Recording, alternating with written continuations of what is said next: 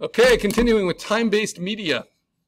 So we have our sketch, our plan, and this is what we call the keyframes. And I'm limiting you to only nine square keyframes. I'm also limiting you to a square format that is nine, or I'm sorry, eight by eight inches. You will see that here at 100 pixels per inch. That's because animation should be at screen resolution, right? So, once I know my plan, now I can start building assets. And if I know I'm going to have a background, and some of you want black backgrounds, some of you want white backgrounds, some of you want colored backgrounds, and some of you want landscape backgrounds, then I can immediately build that asset. So what do I do? I'm going to start a new Photoshop file. We haven't usually done it this way. We've usually brought in a sketch into the computer and then modified that sketch, grew it into the resolution we needed. But the problem with our sketch is it has nine different versions of our project at different times. That's time-based media. So instead, we're going to make a new file in Photoshop. Same thing in Photopea. We're going to make this 8 inches by 8 inches by 100 pixels per inch. Those of you who create social media campaigns, video content, uh, this is a fairly good standard resolution to use. It works for most platforms. That's because it looks good on computer screens, on TVs, and on phones, right? That 100 pixels per inch. High def screens can sometimes be about 120 pixels per inch. 4K are, are more than that, right? But this is exceeds the standard screen resolution of 72 by about a quarter. So we have this 8 inch by 8 inch, you know, white square. The next thing you're going to do is use your move tool and click on your rulers. And if your rulers aren't turned on, hit Command R. And if your rulers don't show inches, you go up to Photoshop, Settings, Units and Rulers, and you're just going to set the ruler units to inches. That is not the default. The default is as pixels, but we don't speak pixel as well as we speak inches. So we want to see all 8 inches. Then I'm going to use that move tool, click on the ruler, and just drag to the sides of this 8-inch square. This is my shooting frame. This is what appears on screen, right? And instead of building extra space around it, like we did for our first two assignments, we want to know that there is extra space around it. It's just going to be hidden from us. So what do I mean by that? Now I'm going to start finding my assets. And one of my assets is this background, right? So I'm going to open up this CreatureScape project. And I have this background. And I have my creature. And if I look at my sketch and I say, oh, okay, this is the, the first frame. All I have to do is get rid of the creature from this project. Good. But I want to think of all the things that might change in this frame as it goes on.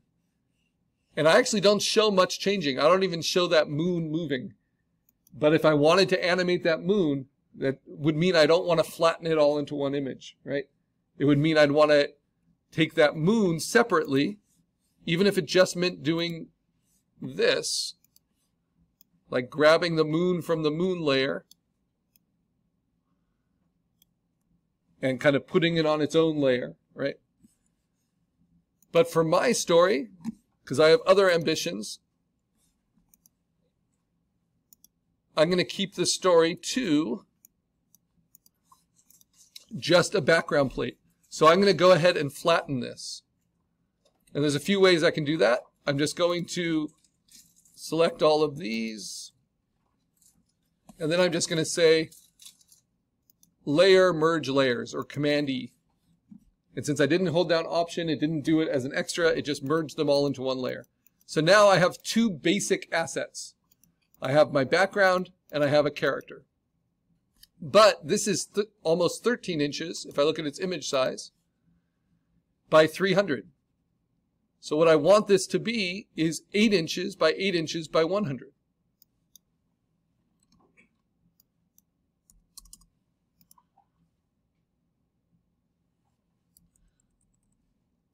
All right. So now what do we have? We have two files. One that's open in Photoshop.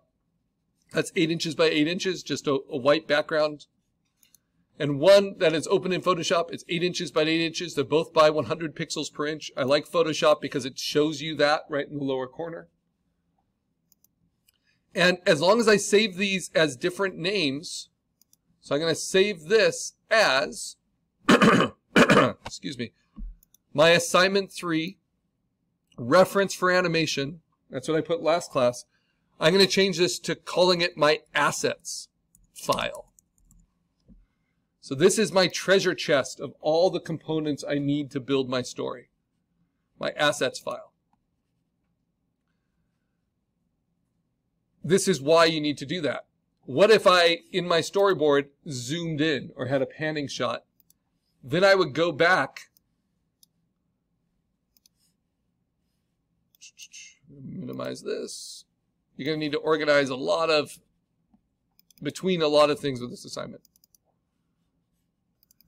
Then I'm going to go to that Photoshop file, open it again. This is before I shrunk it down, right? And now I'm going to keep it at full size. And I'm going to say layer merge visible. But this time I'm just going to be on my top most visible layer, have that selected, hold down Option, and then say Layer Merge Visible. This time it's non-destructive. It gives me a merged layer here. I'm going to select all of it by either using my rectangular marquee and having it stick to the guides. That's why the guides are really helpful. Or shortcuts help. I can just do select all as long as I'm on that layer. And that shortcut is Command A. So Command A to select it all. Command C to copy it all. You can also find that under Edit. And then I go to my assets and I say Command V to paste it in. Now what's interesting is I pasted in something at a different resolution than the rest of my assets. So if I hit Command T, I can see the potential for this background now. So this is a background plate that I might use for panning.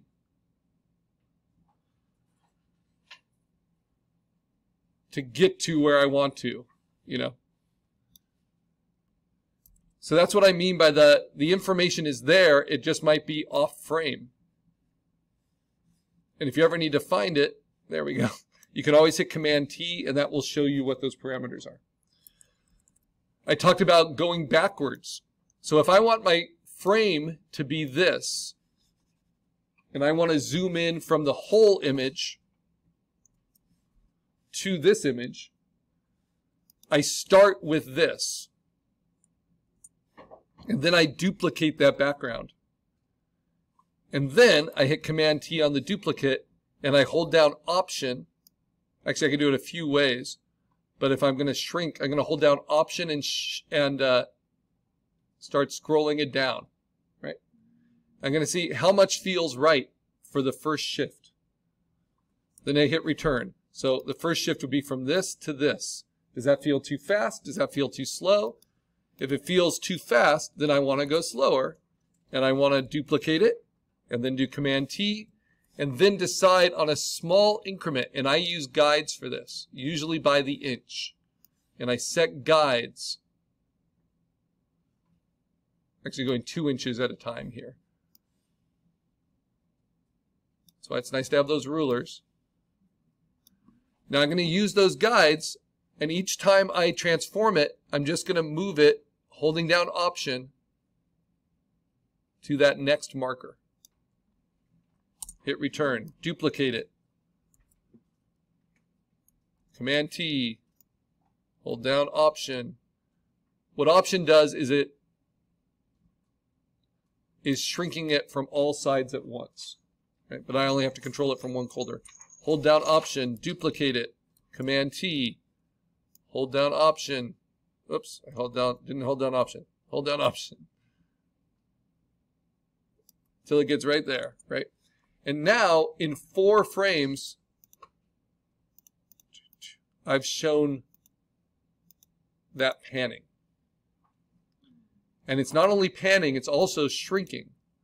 So how long will it take for me to get all the way to fitting the image on? Well, I'll show you. Going two inches at a time, which is probably about as slow as you can go in a GIF animation. Because we're not going to end up with 24 frames per second generally on this project. It's only us doing it. We don't have unlimited time. But I would duplicate it, Command T, and now what I start doing is holding down Option, going from the side in to that line, and then moving that down to the corner. So what does that look like? I'll get rid of the guides. It, it's just a change. It's a change from it panning and zooming to now just zooming. So it's panning, which means moving, and zooming. It's zooming out, though it's hard to tell with the pan. And now it's just starting to zoom out. Again, Command J. Then Command T, and I want to turn on my guides. And notice, oh, this is something that happens too. Very annoying in animation. So I can see in the window that there's a little bit of empty space. That means I didn't sync it right with the guide, which I can't tell because as the frames layer up, I can see what's behind it. So I need to fix that really quickly. Set that down and then also set down the duplicate. Okay. So you want to kind of catch these things as you go. And you can always test it just by using this eyeball. Animating in Photoshop is just programming this eyeball. Turning it on or off and saying how long it should stay on. Okay, so now I have my guides. This is a duplicate. I hit Command T. I hold down Option.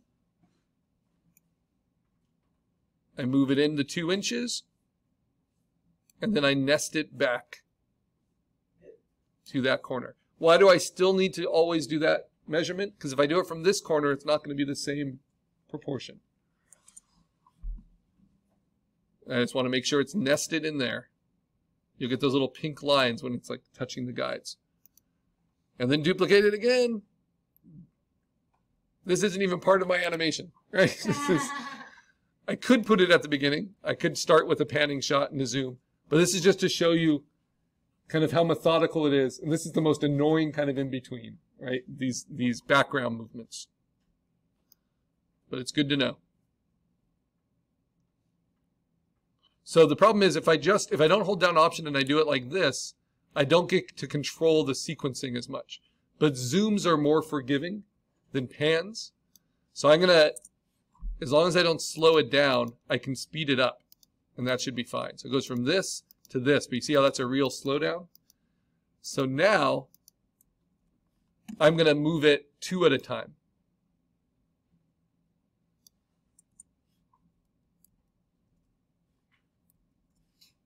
Two at a time.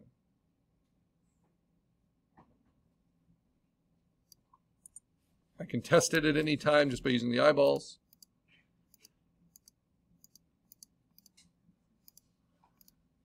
Duplicate it again, use the guides, and it'll be the last two.